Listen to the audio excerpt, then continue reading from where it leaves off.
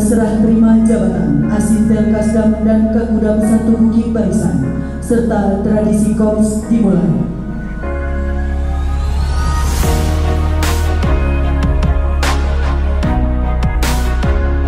Saya Panglima Kodam 1 Bukit Barisan